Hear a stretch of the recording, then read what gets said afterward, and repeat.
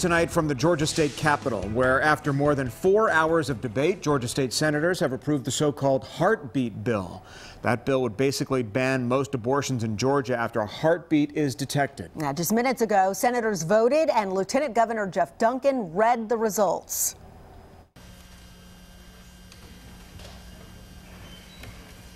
On the passage of the bill, the yeas are 34, the nays are 18. This bill having received the requisite constitutional majority is therefore passed by substitute.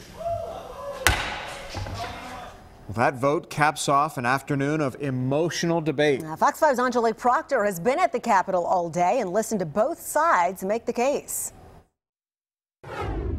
It is one of the most divisive issues in our country. This week, under Georgia's Gold Dome, protesters and supporters of the so called heartbeat bill held signs and pushed opinions for and against House Bill 481. The measure drew heavy law enforcement presence both outside and inside the state capitol.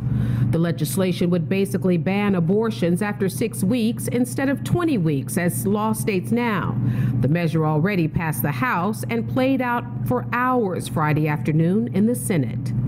We will not throw away these children who are not perfect because all children are perfect in the eyes of God. We have a right to determine whether or not we give birth. It is enshrined in our Constitution and has been defended by the courts over and over and over again. The Senate made some changes to the bill that is getting national attention.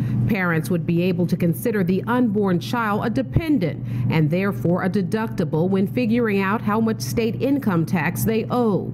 Also, fathers could be forced to pay child support beginning six weeks after conception. But opponents say even if the measure passes in Georgia, it will face a legal fight in the courts.